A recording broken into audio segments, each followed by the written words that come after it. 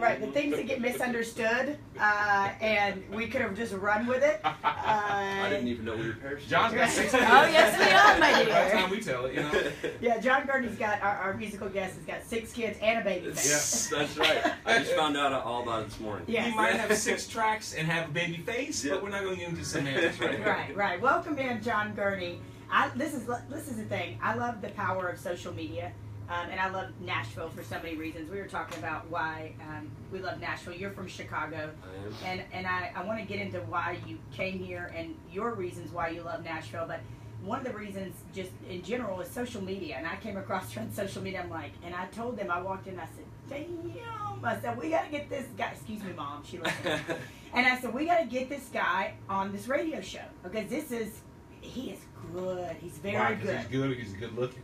Which one is? I mean, I think he's, you know, he's a nice looking This guy's gentleman. hat backwards. I thought this guy was like 23 years old. He's old 28. But I said this guy's musically talented, and I never would have known about it if not for the power of Instagram and social media. Well, I appreciate you giving me the invite. Absolutely. So tell us why you, why, what is it about Nashville for you? Because we were talking about kind of our love affair for Nashville this one. Well, I mean, I came here about three years ago. Um, I came here originally kind of doing backup and utility guitar work and banjo and a little bit of bass, and finally convinced my roommate from Mizzou, Chase Lauer, who's the social media guy that we were talking about, Mhm. uh, convinced him, and the rest we've been kind of rolling with it ever since. So did you did you play sets at Mizzou like to get you know as a band? Yeah, or? I was. Uh, I did the the extra, the five year. I did the victory lap. You saw it on because I was playing. Uh, I was playing bars about Victory four four or five days a week. I was Oh, out nice. kind of doing three to four hour sets, kind of blowing my voice out, drinking too much and singing every night. But I'm got sure, the wait, chops up a little bit. I'm sure some music came out of that, did, right? Like, so, so you wrote something from That's that. kind of where my love for songwriting and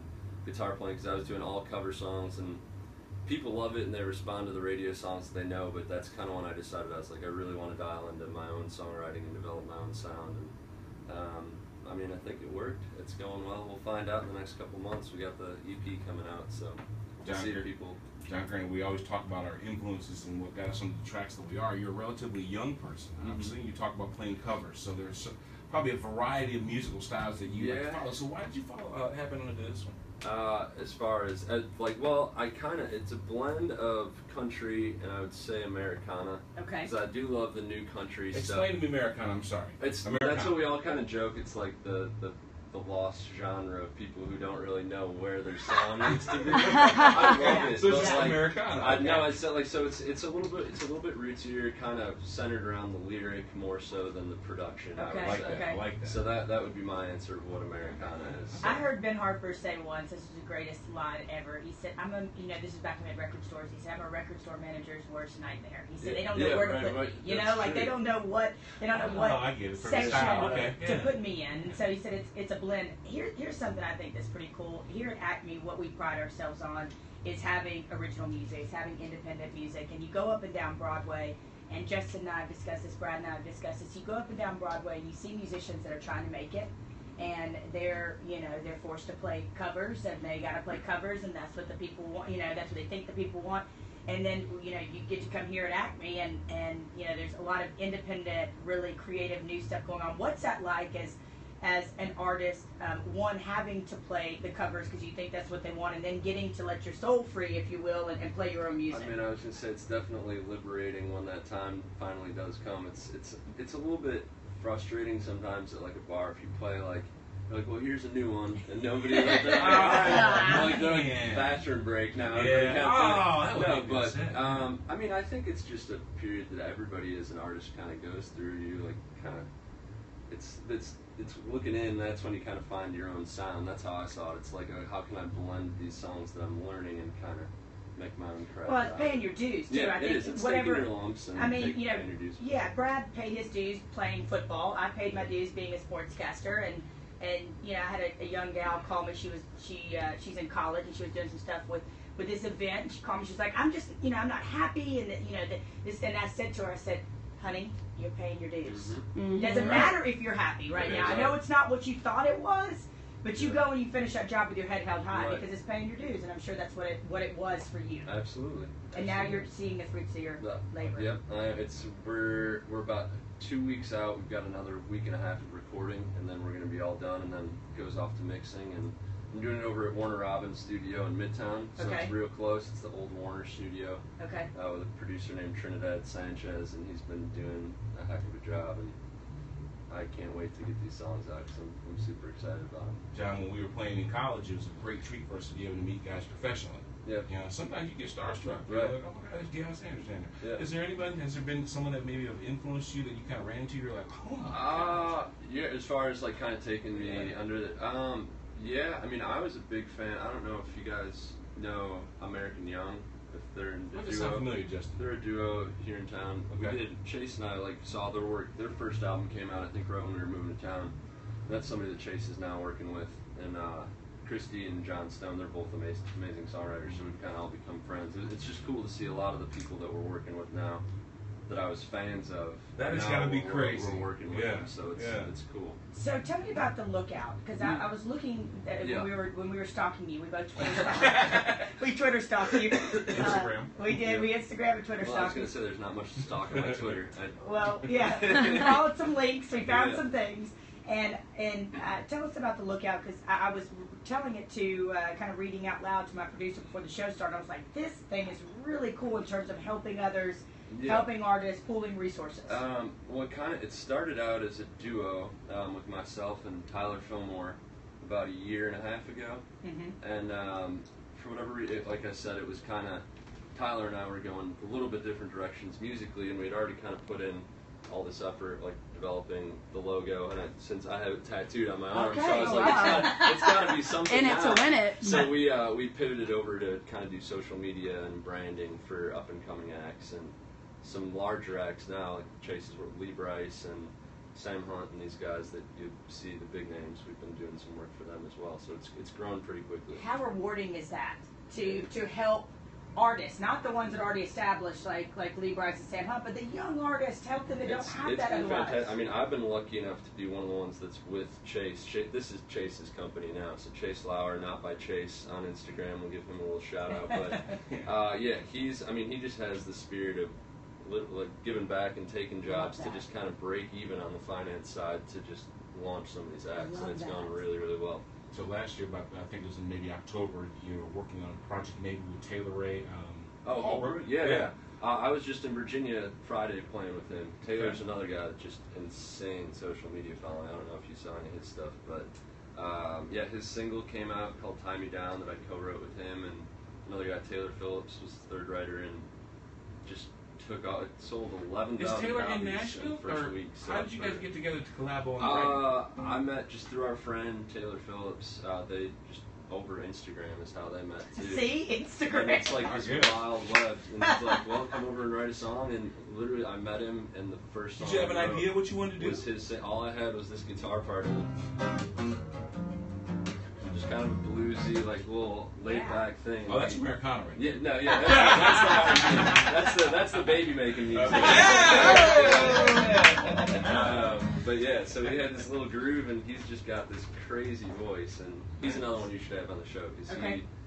he, he buckle up though because he is a live cartoon character. The Okay. guy comes in, he's a ball of energy. I'll tell That's you so what. funny. Yeah. All right, so before you play, I gotta ask you this: Is um, so when we meet a lot of musicians here, oh, you know, obviously you love to perform your own stuff, but Yeah. talk to me about the desire to to write because there's a lot of longevity there. Yeah, that's kind of how I see it. Is once it's like I'm willing to give the give the road thing. You know, do the tour, see how far it go. Like put put my time in, grinding it out for the next couple of years. But I really do see myself long term in the studio as a writer and um, long term getting into a little more production because it's easier to make a career. Yeah. You can turn into a nine to five. There's someday kids down the line, not yet. Uh, like we, jo- we joked about earlier. Yeah. You've got six Um, babies. I'm just kidding. But yeah, I do see that as Is it hard long- though to, to let your music go and let somebody else sing it? Like I don't know. I'm not a musician, so I'm asking. Like, is it hard? Is I it kind hard? of think it's cool to see the different Okay. interpretations. See, that, that's what I wanted to ask him before you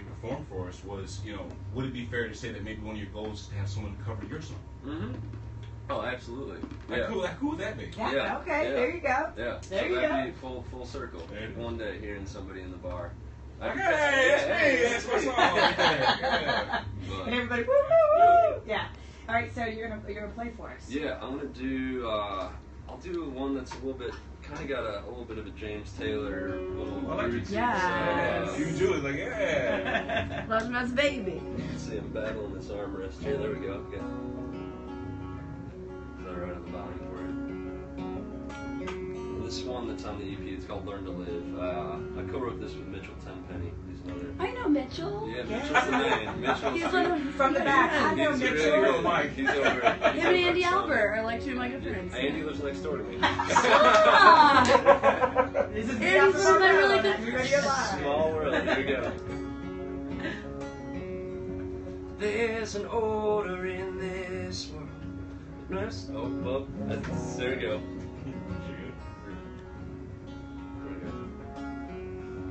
There's an order in this world that must be obeyed.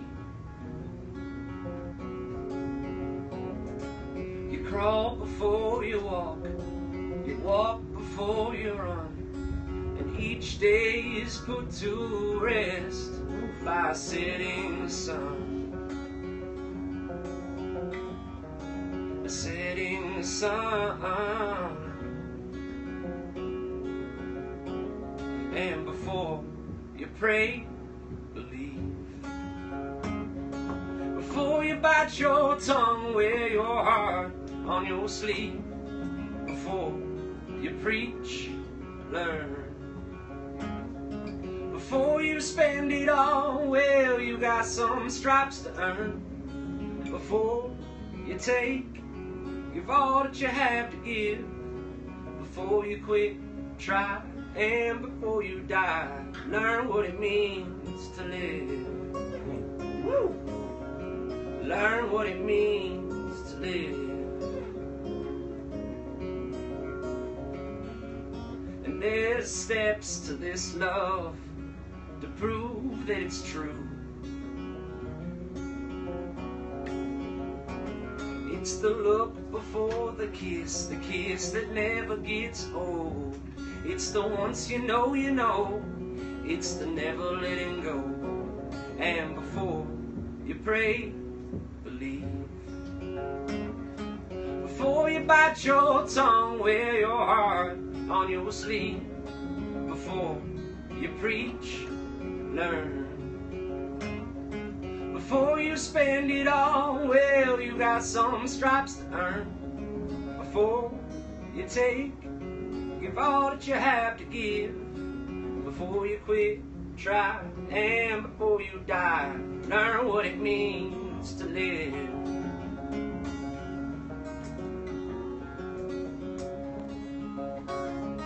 The minutes become hours and the hours become days. So fill them up with who you love, cause time never waits. And before you pray, believe. Before you bite your tongue, wear your heart on your sleeve. Before you preach, learn. Before you spend it all, well, you got some stripes to earn. Before you take, give all that you have to give. Before you quit, try, and before you die, learn what it means to live. Learn what it means to live.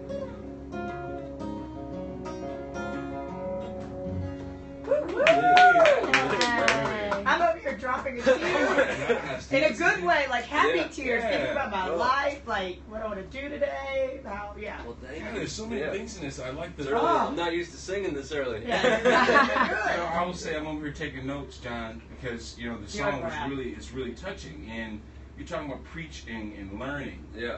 and you have to before you quit, you have to try, and before you actually pray, believe. Those those Yes. lyrics they mean something. Yeah. It's um, pretty good. I sat on those that that hook idea for about six or seven months before we actually wrote the song, because it took. I tried to explain to people, and they didn't really get like repeating before that many times in the chorus to people was kind of like when something is that repetitive, sometimes it can can be distracting. But when we finally figured it out, I think we kind of kind of nailed it.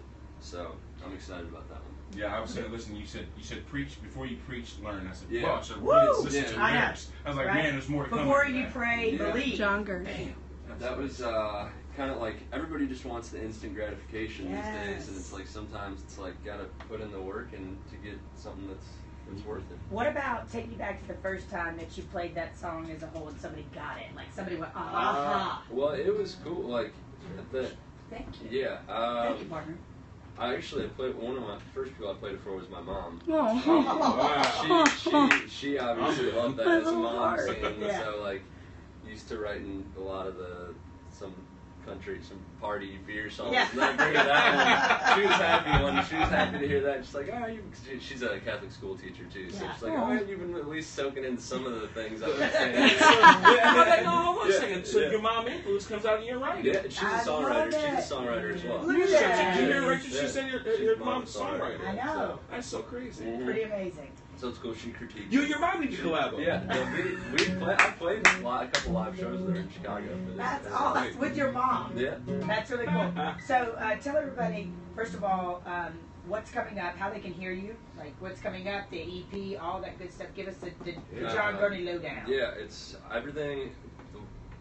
Instagram now is the best way to keep up, but I'm going to be more active on my Twitter and Facebook and all Called that. I was kind of yeah, Yeah, been I really out. did. um, but yeah, so there's a, the new EP will be out um, within the next month. We don't have an exact date just because we're still kind of doing vocals, but for sure we'll say unofficially May 1st. Okay. Um, will be will be a, a launch of at least one song coming out. Um, so if that's if that gets me in trouble, I apologize, Chase and Trinidad. We're under the gun. Um, but yeah, it's John Gurney Music, and it'll be johngurneymusic.com. Everything is the same on all, all platforms of social media. So Any live shows here and around? uh, the next one I have April 27th at the Listening Room with Okay.